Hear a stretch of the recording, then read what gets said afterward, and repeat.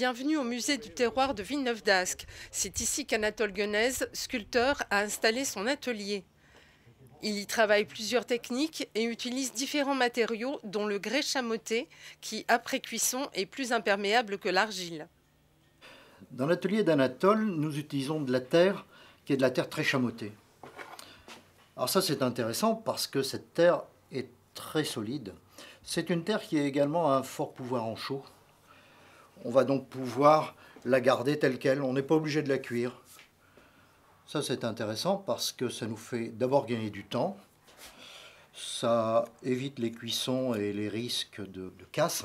On peut aussi travailler la, la terre pleine, puisqu'habituellement, si nous devions cuire, la terre, on serait obligé de la creuser. Tandis qu'ici, on peut travailler avec de la terre complètement compacte. Alors, c'est une, on peut appeler ça de la terre à briques. C'est une terre, qui a ses qualités, qui a aussi bien sûr des défauts, parce que euh, cette chamotte nous fait des, petits cailloux qui parfois sont gênants quand on fait des, courbes comme ça, euh, très sensuelles. Euh, bah, cette chamotte va venir solidifier notre terre, la renforcer et faire une pièce quand même assez solide. David, toi qui es forgeron, j'aurais besoin que tu me fabriques des pâtes de telle manière à pouvoir dissocier les deux parties de cette sculpture. Donc tu vois, il me faudrait une ouverture entre deux. Mhm. Alors comment Combien de centimètres à peu près entre les deux? Entre les deux, il faudrait à peu près un, centimètre et demi. Là, hein. Oui, un centimètre et demi, voire deux centimètres. Mhm. Quelque chose de brut. Dans les flammes, David prépare la pièce nécessaire tandis qu'un groupe de stagiaires malaxe la terre pour éliminer les bulles d'air, ce qui évitera l'éclatement des pièces lors de la cuisson. Ben, là, avec la technique qu'on vient de t'apprendre, tu retournes, tu poses bien, tu casses, hein, tu tapotes. Logiquement, il n'y a plus d'air. ne faites pas des pièces trop épaisses parce qu'il faut qu'on les sèche relativement rapidement. Ça va bien venir s'écraser petit à petit et chasser l'air. Ah, si j'ai quelque chose de plat, c'est beaucoup plus difficile.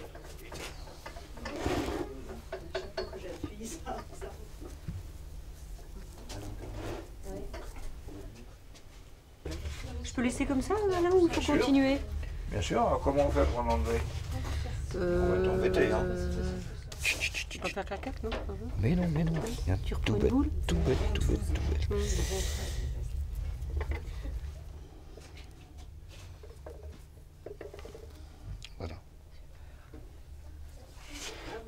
Voilà. Et ça, je veux qu'on le garde. C'est ça que je veux qu'on ait finalement. Donc ici, il faut venir le, lisser un peu. De façon à ne pas avoir des trucs trop coupants. On va voir aussi avec de l'émail de couleur comme le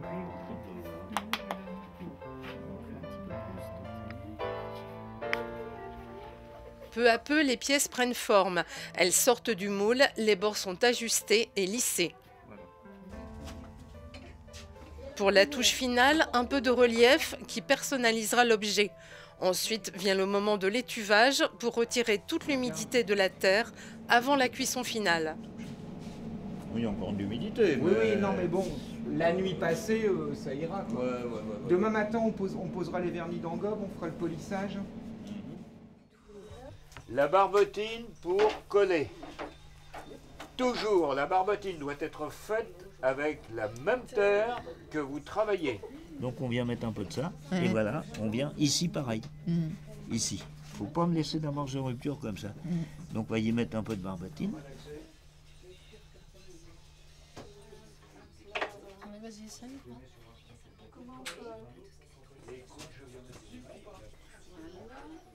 Place à la créativité pour chacun des apprentis. Il faut maintenant choisir un décor pour l'objet. Ici, les empreintes de quelques feuilles d'arbustes apporteront la touche finale. Tout à côté, une main plus experte prépare de la terre à l'aide d'un rouleau et d'un gabarit pour l'épaisseur. Un petit bonhomme va voir le jour.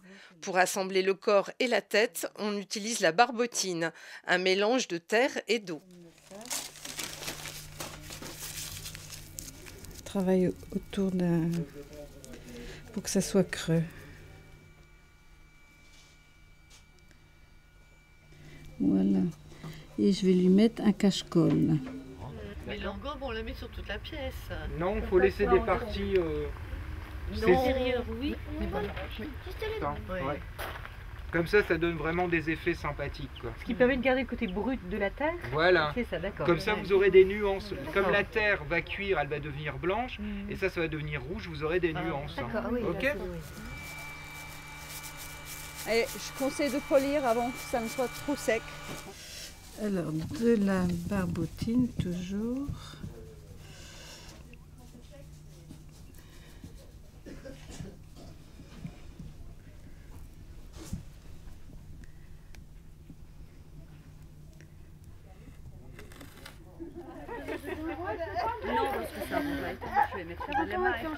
Pas en dessous, hein, Non, ça, aide. Juste comme ça. Non, il faut retirer les, parties en dessous. Hein.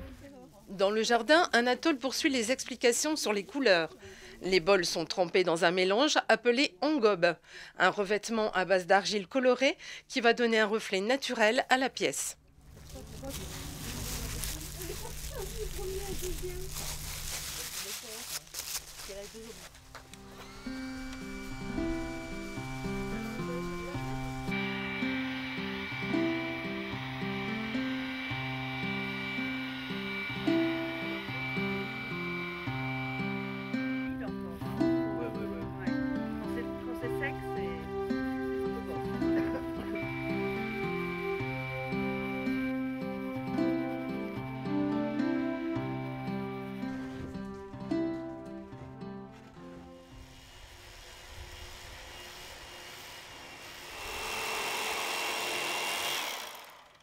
Dans la tranquillité retrouvée de son atelier, Anatole travaille un matériau particulier, le polyester. Il trace les contours d'un gabarit qui servira à la construction d'un nouvel objet. L'artiste s'inspire d'une photo afin de tracer très précisément le dessin de la pièce.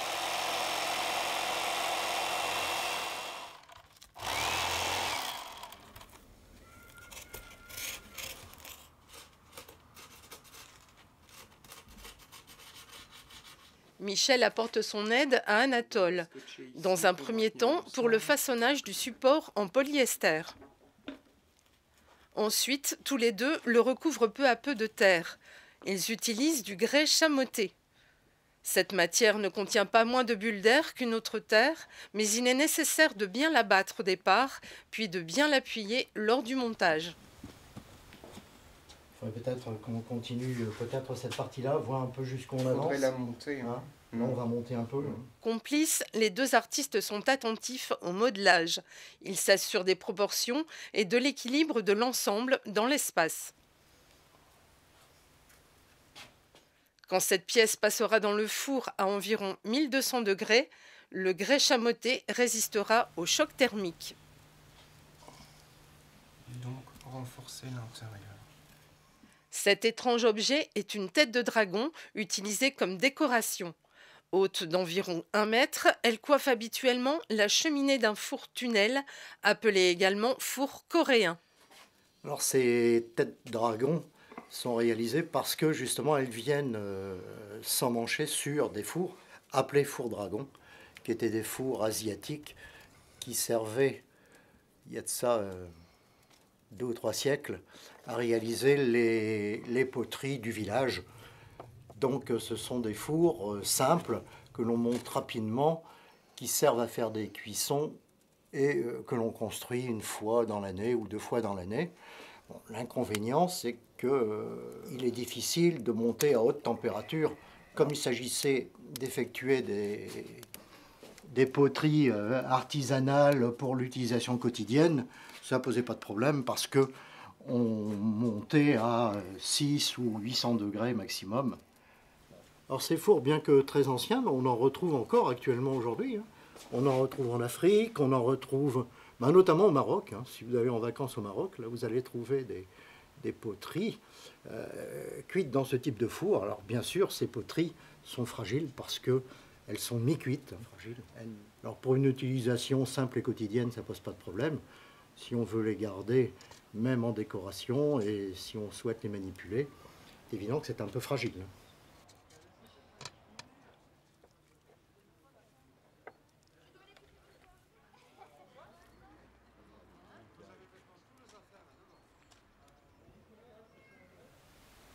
Donc là, un petit coup de guillouchage. Ici aussi.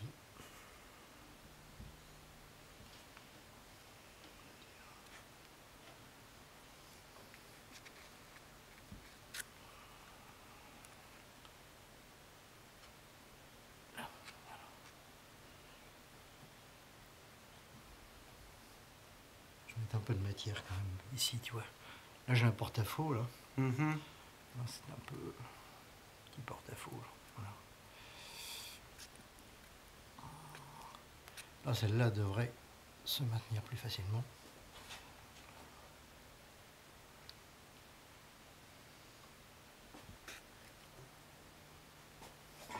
Impeccable.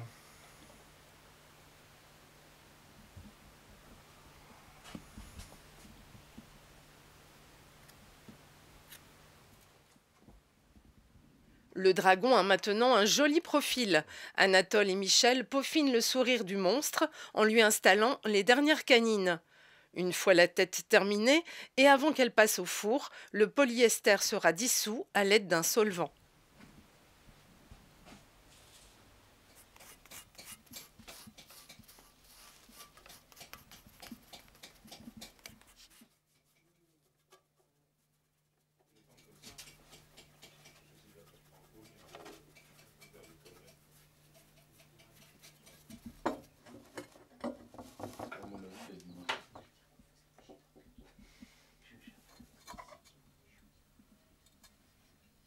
Après confection de sa colonne vertébrale métallique par David le forgeron, les deux parties du corps de femme sont ajustées.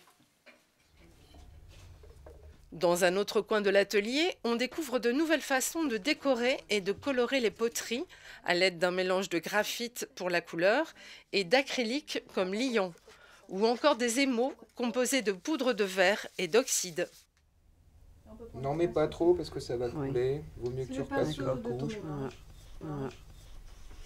Mais bon, c'est intéressant, couvrez pas tout. Parce qu'en réalité, il faut laisser des parties noires, auquel cas ça fait uniforme, c'est pas beau. Ces émaux dévoileront leur véritable teinte seulement après la cuisson. Bleu comme le cobalt, beige comme le fer et métallique comme le cuivre.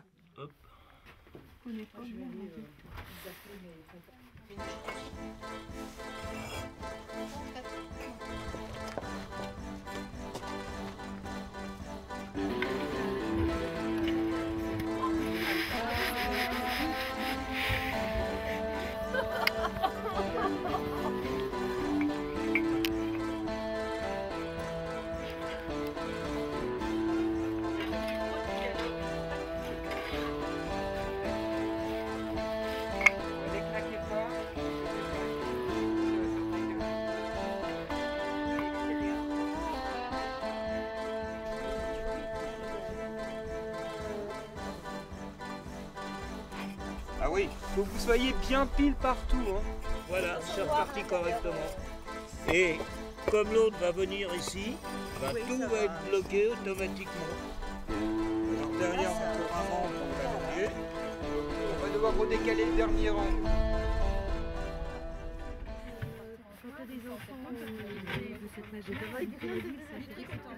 Brique après brique, toute la troupe est maintenant sollicitée pour la réalisation d'un four plus stable en température et qui pourra atteindre 1300 degrés. Ce four à flamme se compose de trois niveaux. L'alandier où l'on charge le bois, le laboratoire où l'on dépose les pièces, puis la cheminée. Voilà, et la petite là. Et pour enfourner des fournées, c'est celle du milieu qu'on enlèvera. Non, ceci est plus liquide que l'autre. Et quelle couleur Tu mets quoi Bleu Avant le passage au four, dernier coup de pinceau. Chacun choisit ses émaux en imaginant la couleur qui apparaîtra après la cuisson et l'enfumage.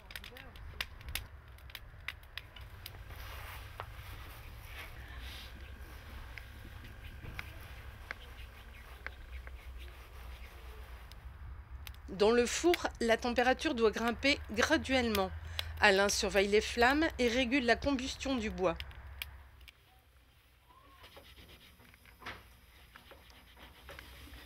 Faut refaire une petite ligne en dessous du prieur. Hein. Une petite ligne juste en bas là. C'est moi ça va Ouais, c'est bon. Bon? Là, faut nettoyer ici. Il y a de l'émail. Et tout ici.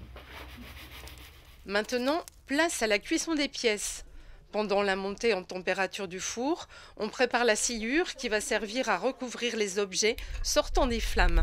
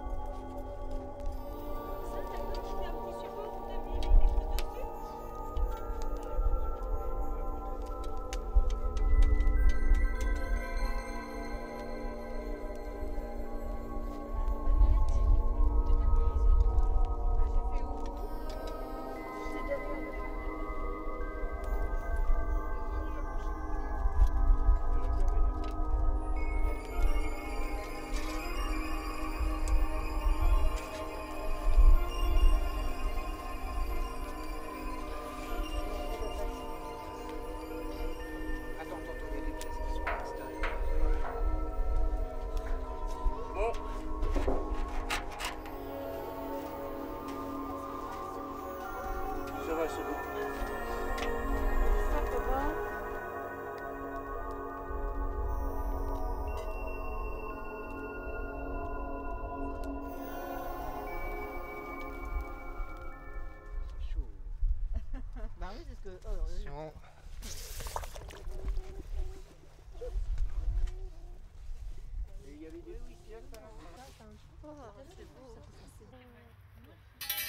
Une à une, les pièces sont sorties délicatement et déposées dans la sciure pour l'enfumage.